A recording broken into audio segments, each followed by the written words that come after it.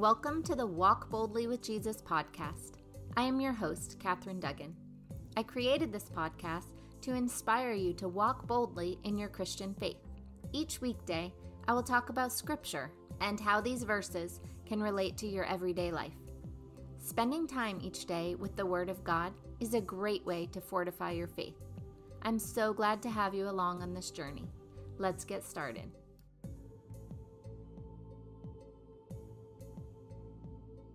The title of today's episode is The Certainty of God's Promise, Part 2. The scripture verse is Hebrews chapter 6, verses 16 to 20. Human beings, of course, swear by someone greater than themselves, and in an oath given as confirmation puts an end to all dispute. In the same way, when God desired to show even more clearly to the heirs of the promise the unchangeable character of his purpose, he guaranteed it by an oath, so that through two unchangeable things, in which it is impossible that God would prove false, we who have taken refuge might be strongly encouraged to seize the hope set before us. We have this hope, a sure and steadfast anchor of the soul a hope that enters the inner shrine behind the curtain, where Jesus, a forerunner on our behalf, has entered, having become a high priest forever, according to the order of Melchizedek. I started talking about the certainty of God's promise on Monday. Today I want to finish the section as I think it's important that we all know we can count on God and all of his promises. God cannot lie. If he says something, it's true.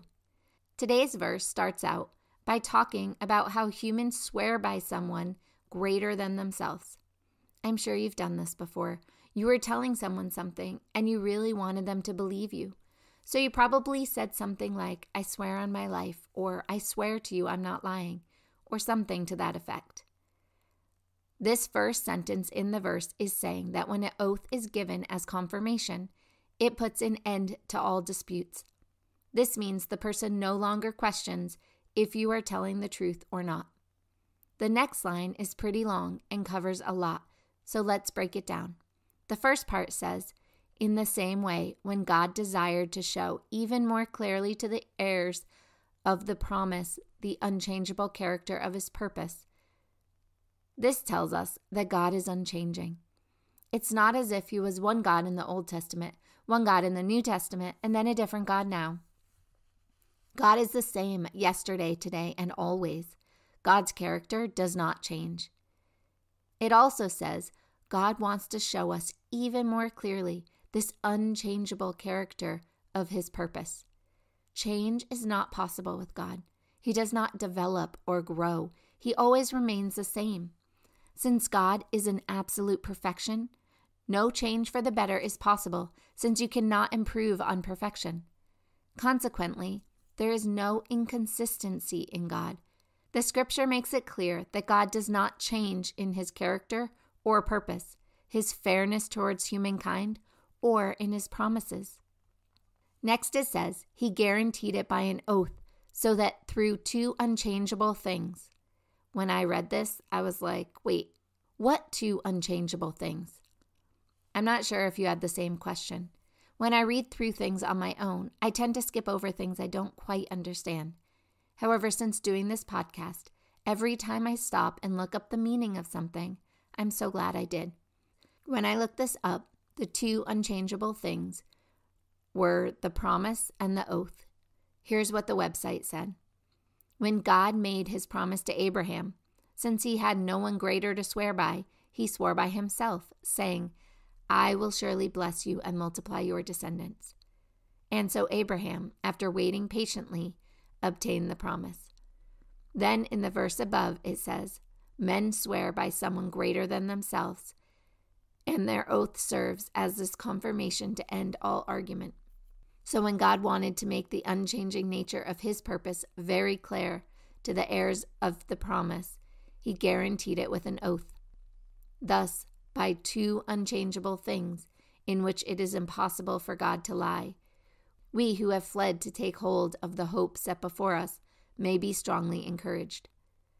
The author of this response also wanted us to note that the oath to confirm the promise has validity because God does not change and his purpose does not change.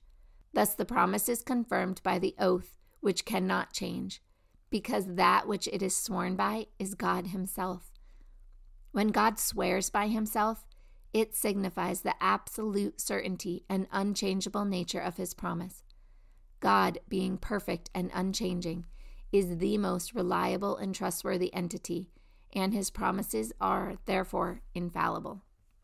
That may have been a lot of words, but basically, it says that God is always the same and that he wanted to make doubly sure we would believe his promise.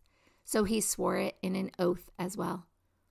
This goes to show how mistrusting we are as humans. You would think the Lord Almighty promising us something would be enough for us to believe it, and yet He knew some wouldn't, so He gave us an oath. That is how much God cares about us. Next, the verse above says, In which it is impossible that God would prove false. We who have taken refuge might be strongly encouraged to seize the hope set before us. We covered the first part above. The second part says that we should be encouraged to seize the hope set before us. We can all seize the hope that comes with God's promises because we know that God will keep his promises. He's not like us. We make promises all the time that we don't want to keep. We make promises to ourselves, we make promises to others, and yet we don't always keep them. God is not like this. If he says he will do something, he will do it. The verse ends with We have this hope a sure and steadfast anchor of the soul, a hope that enters the inner shrine behind the curtain, where Jesus, a forerunner on our behalf, has entered, having become a high priest forever, according to the order of Melchizedek. This hope is a sure and steadfast anchor to our soul. One website I found said, For the believer, it is possible to wander from faith, but the hope we have in Christ should be an anchor to our soul keeping us from drifting from Him. An anchor is a weight, it keeps whatever object it's attached to in place. An anchored ship cannot move. This hope, both sure and steadfast, keeps us firmly abiding in Christ in our daily walk. It goes on to say, a hope that enters the inner shrine behind the curtain, where Jesus, a forerunner of our behalf, has entered, having become a high priest forever according to the order of Melchizedek. This is in reference to the curtain or veil that separated us from the Holy of Holies. Only one priest was allowed to go into the Holy of Holies, and I think even he could only do it once a year. This part of the verse tells us that our hope goes behind that curtain. When Jesus came, he removed the curtain. There is no longer anything separating us from God. We have full access to God each one of us can go directly to Him. God is so good. Dear Heavenly Father, I ask you to bless each person listening to this today. Lord, we love you and we ask you to help us continue to hope in you. Help us to see that there is nothing keeping us from you. Jesus removed the veil separating us. Thank you for restoring the ability to have a close relationship with you. Lord, we ask that you heal our hearts and teach us how to have hope in your promises. We ask all of this in accordance with your will and in Jesus' holy name. Amen. Thank you so much for joining me in this journey to walk boldly with Jesus. I look forward to seeing you again tomorrow. Remember, Jesus loves you, and so do I. Have a blessed day. Today's word of the Lord was received in December 2023 by a member of my Catholic Charismatic Prayer Group. If you have any questions about the prayer group or about these words, please email Catholic Charismatic Prayer Group at gmail.com. Today's word from the Lord is Give me your hand this day. Give me your cares and all that bothers you, and you will be overwhelmed by the peace of the Lord who loves you, loves you beyond your imagination. Come, beloved, come and be close to me. Come and open more fully to me to my love, to my hope, to my deep peace.